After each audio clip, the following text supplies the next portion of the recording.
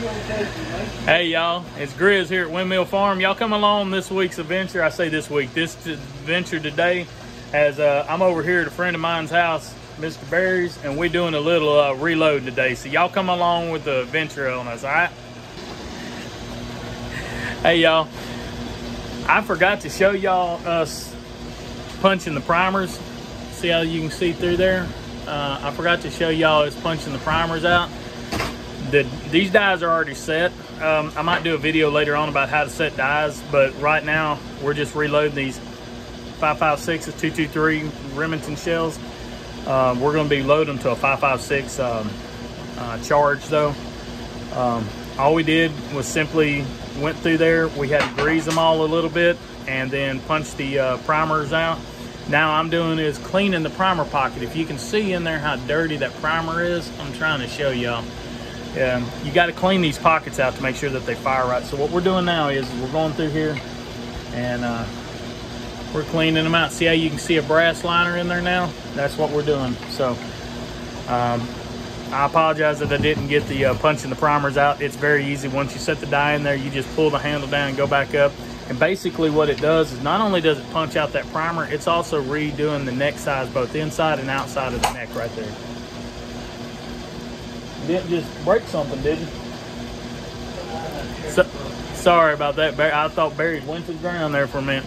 But anyway, it also does the neck right there. So um, I might try to show you with one or two more here in a minute. Um, but anyway, we're we got this machine here. And let me turn this around and show you what we're doing. There's a brush on that and it's spinning.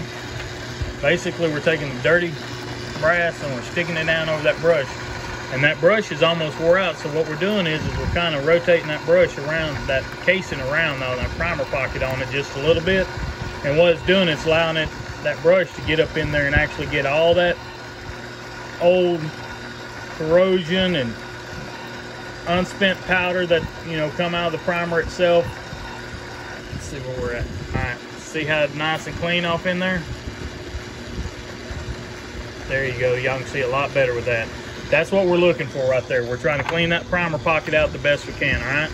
So y'all see we got about 100 here to do. So when we get to the next stage, we'll show y'all again, all right? All righty, y'all. Y'all can see that little bit of lip on there. We're gonna swage that primer pocket just a little bit and get that lip right on the edge. Y'all can see it shiny out there. We're gonna get that off there, all right? The way you do that is we're gonna put it up here. Just press just a little bit. And try and see if this thing will, you can see a little bit. We need to swage that one just a little bit more. There we go. That's what we're looking for right there. I'm trying to get it focused for y'all. All right. So we're gonna swedge all these swage them, and then we'll be ready to put primers in them and then go from there. All right, y'all?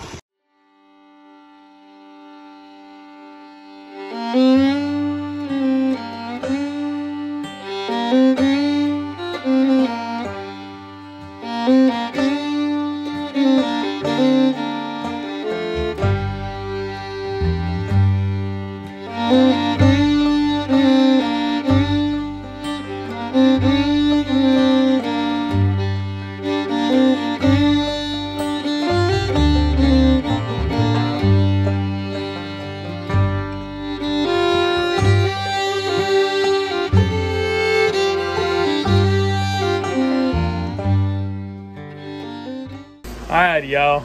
Um, next thing now we've got all this uh, done up to where we uh, got the pockets opened up a little bit better for the primers to go in um, we've loaded up um, see all the primers in there. We've loaded up the hand priming unit on this because uh, what we have is a single stage uh, RCBS uh, so we're going to be hand doing all the primer we're, that's the next thing we're going to set up and I'll turn this camera around and we'll get you going that way. All right, y'all. You notice we got jaws in here that will hold the base of that.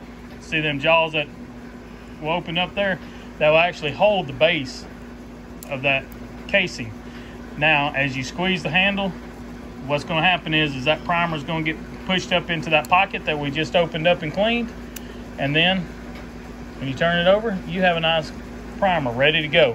Now that's all we're gonna do. We've got a hundred of them here we're gonna get done. We're gonna get them done. And since it's something that has to be done with two hands, we'll come back to you after it's done. All right?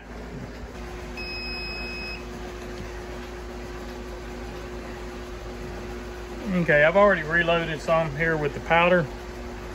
Basically what we're doing here is the trickler. We have an automatic dispenser trickler here. Um, so the way that it's doing is, is it's actually putting out the exact amount that we need. We're using 22.5 grains of 4064 IMR in here. And then because I'm doing this one-handed so y'all can see what I'm doing. I'm putting a 77 grain bullet off in here and then slowly going up with it. And all it's doing is setting it to the proper depth, okay? But what we're doing is, is we'll put this up here. I'll show you this how this works. We already have it programmed in here. And if y'all notice, it's dispensing that powder. Now, if you notice down here, it's kind of hard to see that. And we're looking for 23.5, y'all. And what this thing is, is when it gets close, it's just barely moving and barely trickling out. And it'll get us an exact load. Now see, it's at 22.5. It will beep. That beep lets us know it's ready. So now we can open the door again, get our powder out, dispense it in there, and basically the powder don't go all the way down immediately. You have to kind of do it. Notice how there's no powder in the funnel no more. And once that does that, then we're ready to put that back on the next round. We'll take this and set this over here. I'm trying to do this one-handed. It actually goes a little smoother when I'm doing it both hands. But once I put that back in there, it starts dispensing again, okay? We put this over here. And then we put our bullet on the very top up here.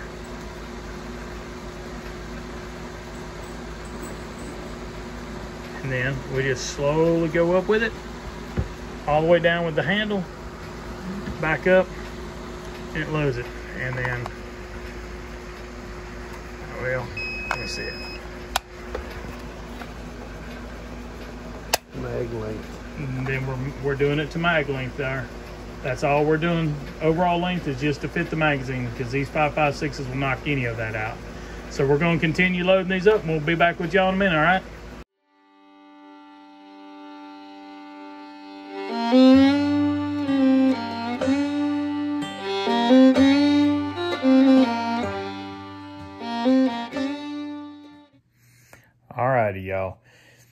Um, the only thing you didn't see was us finishing up the 100 rounds of 5.56 and putting them in um, putting them in the, the locker with the rest of the rounds. That's the only thing I didn't film. Um, it's not meant to be a technical video. This was just a quick video showing y'all what we were doing on a rainy day, reloading some 5.56. So, um, like the video, comment if you don't mind. We I love reading the comments and answering them. Uh, if you want to see something a little bit more technical, let me know in the comments below. And uh, yeah, I'm going to tell y'all have a blessed day. And as always, be safe.